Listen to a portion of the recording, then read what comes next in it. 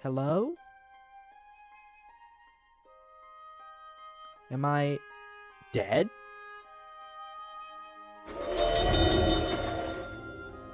There's no. Could it be? Lady, where are we? We're inside your mind. So I'm dreaming. Not exactly. This conversation is very real. We don't have time to explain it right now. I'm sorry I haven't been here sooner, but you have to stop her. I.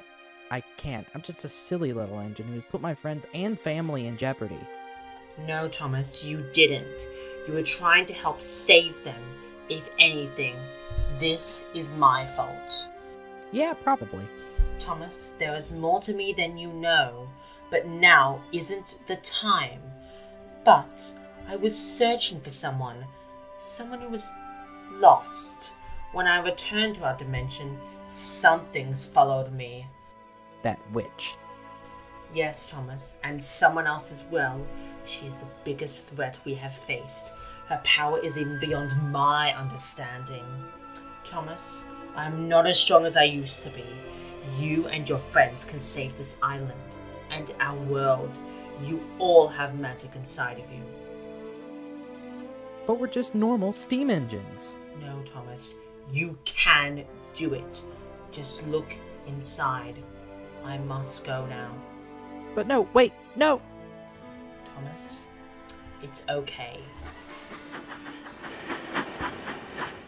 Thomas, it's all right. We're trying to help you back on the track. Percy, oh, thank throttles you're here. We're taking you to the steamworks. No, thank you for helping me, but we have to stop the witch.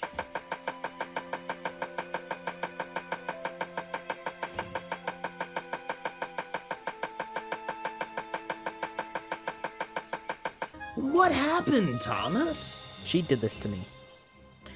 We have to get to Knapford right away.